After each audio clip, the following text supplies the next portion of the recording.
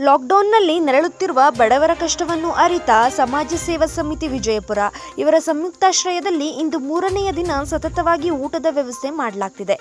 ಲಾಕ್ಡೌನ್ನಲ್ಲಿ ಕೆಲಸವಿಲ್ಲದೆ ತುತ್ತು ಅನ್ನಕ್ಕಾಗಿ ನರಳುತ್ತಿರುವ ಬಡವರ ಕಷ್ಟ ಅರಿತ ಸಮಾಜ ಸೇವಾ ಸಮಿತಿ ದಾನಿಗಳ ಸಹಾಯದಿಂದ ಬಡವರಿಗೆ ಸಹಾಯ ಮಾಡಲು ಮುಂದಾಗಿದೆ.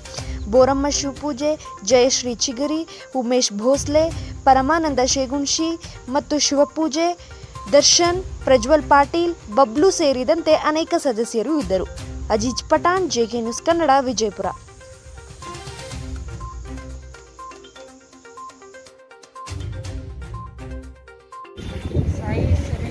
ಪ್ರಸನ್ನ, ವಂದನೆಗಳು.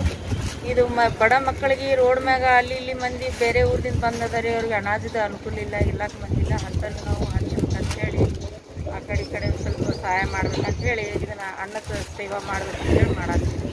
ಯಾ ಇದ್ರಲ್ಲಿ ಮಾಡಿದ್ರಿ ನೀವು ಸಂಘಟನೆ? ಇಲ್ಲ ಯಾವ ಸಂಘಟನೆ ಇಲ್ರಿ ನಮ್ಮ ಸ್ವಂತಕ್ಕಾಗಿ ನಾವು ಮಾಡ್ಬೇಕು ಅವ್ರಿಗೆ ಮ- ಜನರ ಸೇವೆ ಮಾಡ್ಬೇಕಂತ ಹೇಳಿ ಕರೋನಾ ಮಂದಿಗೆ ಅಲ್ಲಾಡಕತ್ತಾರ ಅಂತ ಹೇಳಿ ನಾವು ಮಾಡಾಕತ್ತೀವಿ ನಿಮ್ಮ ಹೆಸರು ರೀ?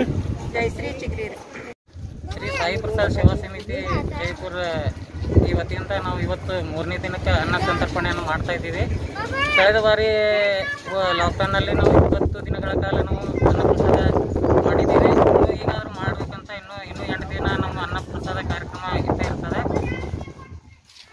está bem?